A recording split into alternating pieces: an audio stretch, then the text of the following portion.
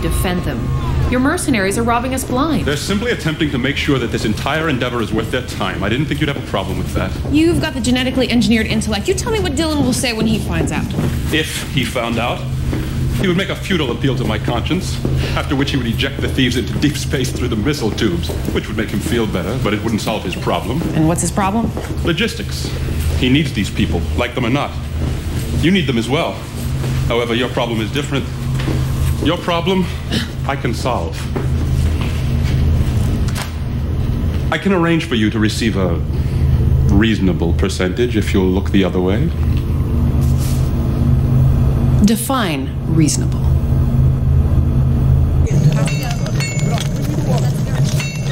Captain Hunt and his band are building new weapons. Now he isn't just teaching them how to kill, he's teaching them how to think like killers. Dylan is only trying to give the Hajira a fighting chance. Life isn't a battle, it's a test of faith. I taught you that. For which I will be forever grateful, but we all approach the test in our own way. We reflect, Dylan acts. I will not allow my children to be corrupted by violence! But you used force to compel the Hajira to retain their innocence. You took away their option, their choice. Was that not violence? Trenches are in place. Charges are set. We're as ready as we're ever gonna be. Hmm.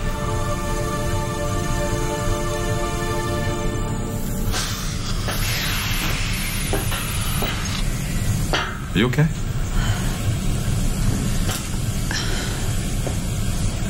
I'm worried.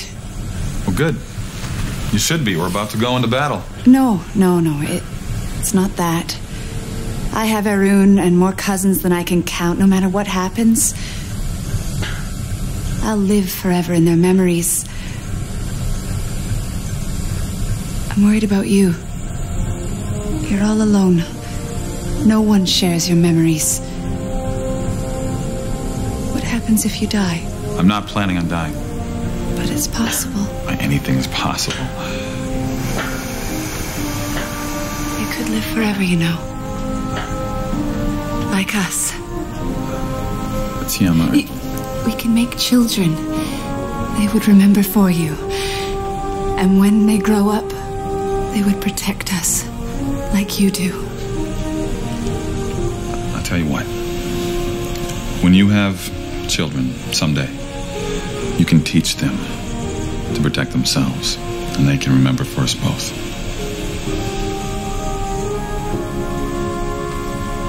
I will.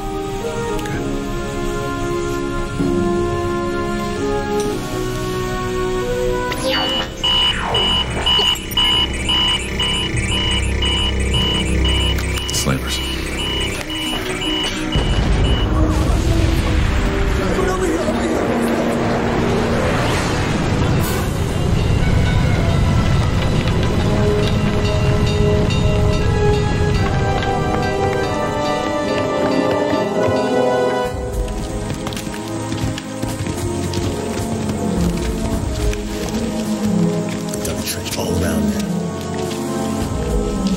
What do you mean they dug a trench? Somebody's been playing soldier out here.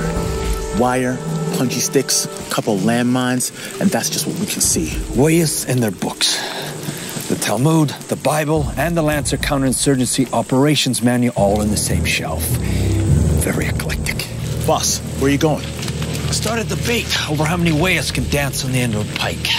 It's not the Wayist you have to worry about. It's me.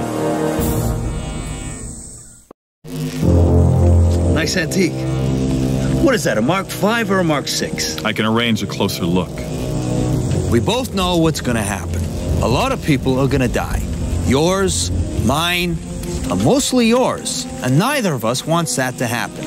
So what do you say you give up 30 villagers, we call it a day? I've already called it a day. Fine. I'll go as low as 15. I'll even let you pick them.